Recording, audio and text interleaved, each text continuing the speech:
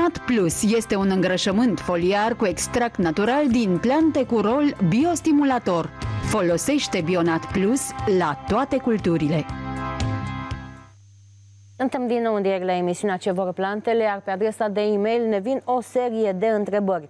Ioan ne spune că are o suprafață de patru arc pe care cultivă în fiecare an diverse legume prin rotație, roșii, castraveți, ardei, gogoșar, fasole, morcov, pătrunjel, secre, roșie, ceapă, usturoi, dar se uh, confruntă cu o problemă legată de pir, pir care a invadat și cultura de zmeură și coacă. În concluzie, ne cere sfaturi în legătură cu ierbicidarea. Da, eu uh, i-aș recomanda să folosească fusilei forte.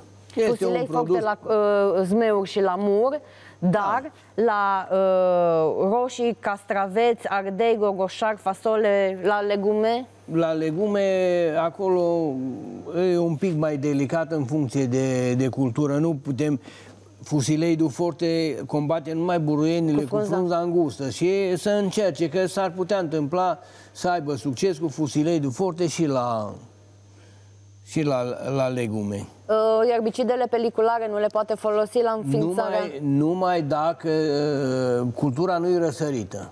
Deci pentru morcov, pătrunjel, ceapă, usturoi, fasole, fasole mazăre, dacă este înființată cultura și nu este răsărită, poate să folosească Challenge 600, poate să folosească Pendigan, Pendisol, Tompacva. Sunt multe produse care pot fi utilizate.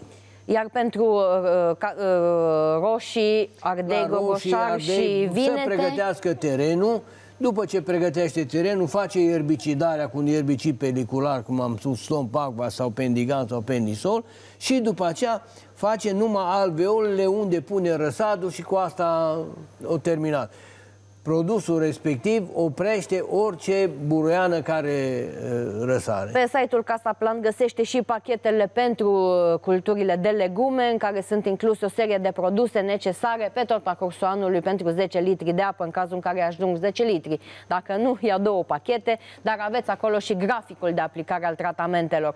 Marius se confruntă cu o problemă la cartof. Ne spune că au avut o problemă cu un dăunător care a intrat în cartof și a mâncat. El bănuiește că ar fi Uh, un dăunător de sol sau melc.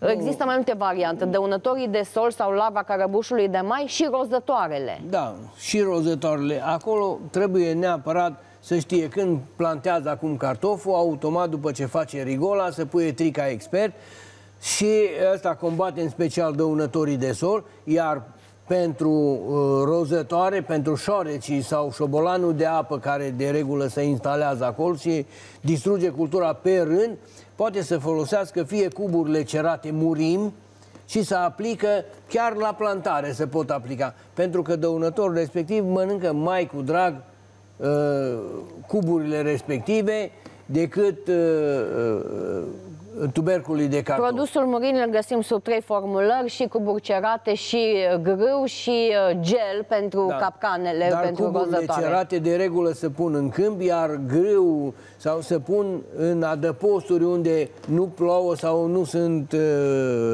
udate Domnul Ghibu, vă mulțumim pentru informații, vă mulțumim și noastră că ne urmăriți și cu mare drag vă așteptăm și miercuri în direct la ora 18. Multă sănătate, toate cele bune!